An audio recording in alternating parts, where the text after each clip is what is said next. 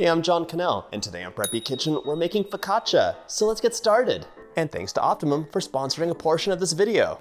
Into a large mixing bowl, I'm adding two cups or 480 milliliters of warm water. It's like 110, 112 degrees. I'm gonna stir in a tablespoon of honey, just measuring it out like that, and uh, one package of active dry yeast. Add that right in.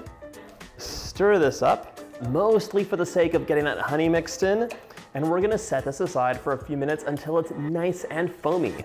Our yeast is nice and foamy, that beautiful texture is like clouds in a bowl, and yes, I love the smell of yeast. So good. Right now we're adding 600 grams or five cups of all-purpose flour right into the mix. Homemade focaccia is one of my favorite things to make. what? You know it's focaccia, right? Oh, focaccia. Focaccia. Focaccia. What would I do without Brian? Focaccia is so easy to make. There's no kneading. It's just like this loose, bubbly, beautiful bread. Oh. Okay. And we're also adding one tablespoon of salt. Seems like a lot, but it's not. Now the scale is all done. We're just gonna mix this together by hand until it comes together in a very wet dough. Like wet. Oh my gosh. One thing I've realized from developing like a ton of bread recipes is that the bread we buy at stores isn't fresh, it's stale. Having homemade focaccia is so delicious, I don't think you'll ever go back. And it's really fun to make too.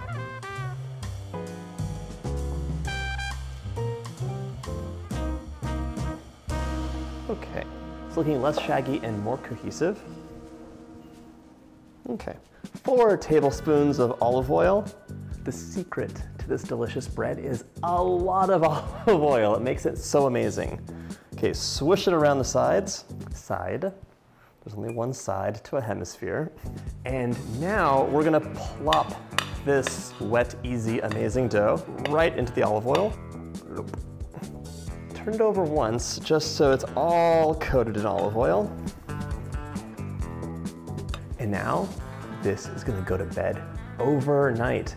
You could start this in the morning and finish it in the evening, but for those big, nice, airy focaccia bubbles, it needs to rest for a young, young time. So cover it up, pop it into the fridge, and we'll see you tomorrow in the same outfit. This portion of the video is sponsored by Optimum. Brian and I love living out here on Hedge Hill Farm. Our bees are making fresh honey, which is delicious and the kids enjoy. The kids pick fresh vegetables all the time. They hang out with Bobo and Charlie, all the goats. We have apple and pear trees. It's just amazing. But we couldn't work from home and live out here if it wasn't for a really fast and stable internet connection.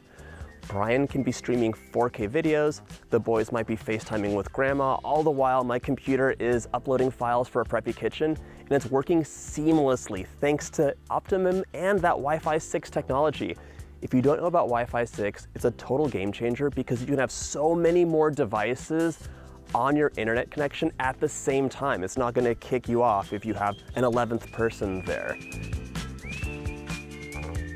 Optimum just launched Optimum Fiber, their 100% fiber optic network with equal upload and download speeds. So now you can stream faster than ever with less lag. Paired to their new Smart Wi-Fi 6 technology, you'll get a faster and greater whole home Wi-Fi connection throughout your home. Now Brian and I can stay connected on multiple devices and I can upload my 4K Preppy Kitchen videos in a snap. They also help keep you safe online with built-in internet security at no extra cost. Check out Optimum.com for more, and let's get back to baking. Thanks again to Optimum for sponsoring this portion of the video. Another day, another Blue Gingham shirt. Take a look at this dough. It is a monster, and there's one step before we go on to the next step. We're gonna lightly oil your fingers, lot of olive oil in this recipe. Mmm, moisturizing. Okay, now lift up from the bottom and we're gonna fold this over.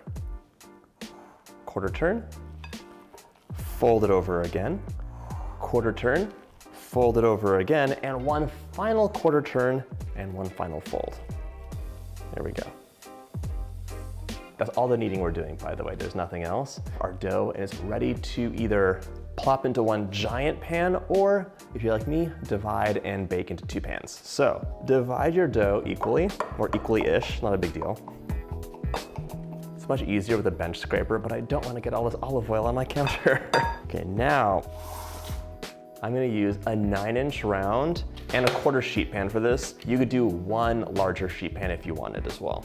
One tablespoon of olive oil in each pan. Give it a brush just so it has a nice even coverage. You could use your fingers if you want since they're completely covered in oil at this point. I know from personal experience, this quarter sheet pan is mega sticky, so I'm giving it a little bit of extra oil. I've gotten so spoiled with the nonstick coatings on all my pans. Didn't appreciate them. Okay, now take one piece of focaccia, put it right there. Take the other piece, I'm like collecting all this olive oil so it doesn't go to waste, and place it on your other pan. This dough's been resting for a long time, but we gave it those folds and it wants to stretch or like pull back into place. So we're gonna be gentle with it and give it some time. Gently pull it apart with your fingers. And like that's as much as it wants to pull apart right now. We're gonna set that aside. Next one. Gently pull this apart like that.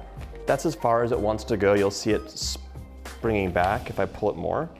These are both gonna rest for about half an hour in my warming drawer or a nice cozy place, and then we're gonna stretch them again. They need a couple stretches and rests until you can successfully bring them out onto the edge of the pan and they're ready to go. It takes a little bit of time, but you're gonna be rewarded with the most amazing focaccia ever and realize that all the stuff you bought before was just like a day old and not cool. Into the warming drawer.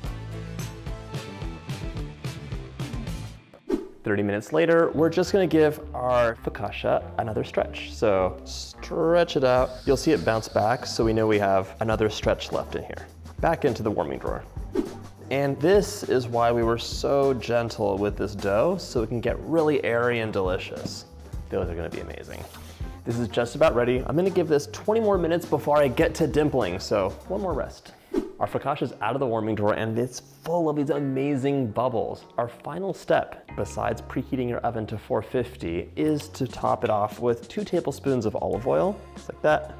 Use your clean fingers, which are also gonna oil up just a little bit, to spread that over the top. This is amazing. And now, with your clean fingers, you're gonna aggressively dimple the top. So just go ahead and pop those fingers in there, this creates part of that amazing texture and helps it cook evenly. Now we're gonna sprinkle the top with some flaked salt, optional but delicious, and any fresh herbs you'd like. So you can use thyme. I'm having some fresh rosemary from the garden, just sprinkle on top.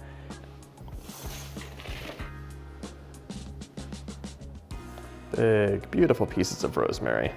This will blacken up a bit. Any green you put on top will blacken up. So if you want it to be beautiful and green, just put it on right after the bake. I don't mind the dark color though, and it infuses your dough with a lot of delicious flavor. These are going into the oven 450 for 20 to 25 minutes or until the top and sides are golden brown and delicious. Into the oven.